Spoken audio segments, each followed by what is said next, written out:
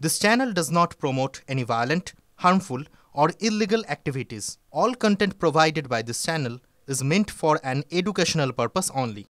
Cyclone দানার দূরত্ব সাগরদ্বীপ থেকে আর মাত্র কয়েকশো মিটার। যে গতিতে ঝড় আসার সম্ভাবনা রয়েছে তাতে উপকূলবর্তী অঞ্চলে প্রভাব পড়বে বলে মনে করছেন আবহাওয়াবিদরা। মৎস্যজীবীদের সমুদ্র থেকে ফিরে আসতে বলা হয়েছে। একাধিক জেলায় স্কুল কলেজে ছুটি ঘোষণা করা হয়েছে। বন্ধ থাকবে বহু প্রতিষ্ঠান।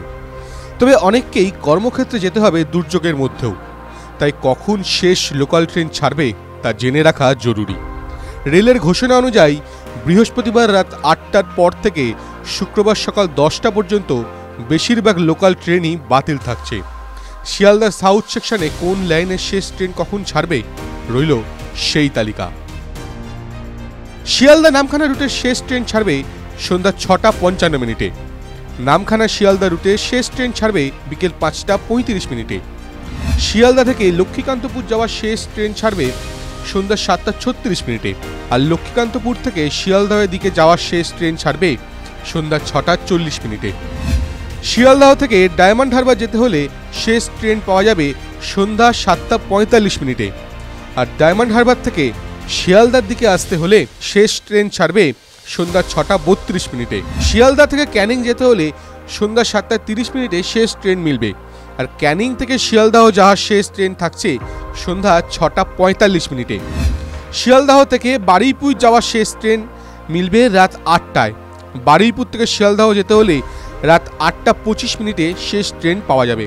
শিয়ালদাহ থেকে বজবজ যাওয়ার শেষ ট্রেন বালিগঞ্জ স্টেশন থেকে ছাড়বে রাত আটটায়। বজবজ থেকে শিয়ালদাহ যাওয়ার শেষ লোকাল ট্রেনের সময় হলো রাত আটটা তিপ্পান্ন মিনিট।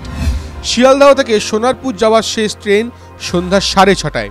সোনারপুর থেকে শিয়ালদাহের দিকে শেষ ট্রেন ছাড়বে সন্ধ্যা ছটা চার মিনিটে। শিয়ালদাহ থেকে হাসনাবাদ যেতে হলে শেষ ট্রেন পাওয়া যাবে সন্ধ্যা সাতটা তিরিশ মিনিটে। আর হাসনাবাদ থেকে শিয়ালদাহ যাওয়ার শেষ ট্রেন ছাড়বে সন্ধ্যা ছটা পঞ্চান্ন মিনিটে। TV nine Bangla, digital.